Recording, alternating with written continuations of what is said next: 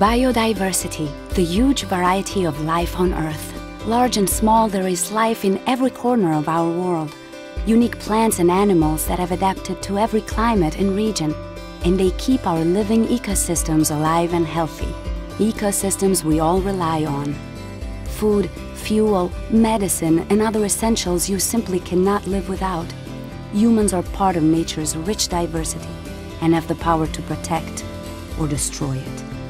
Right now, irreplaceable species are being lost faster than ever. This impoverishes us all and weakens the ability of our living systems on which we depend. 2010 is the International Year of Biodiversity. Let's reflect on our achievements to safeguard biodiversity and focus on the urgency for the future. Get involved.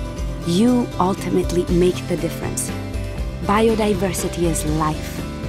Biodiversity is our life.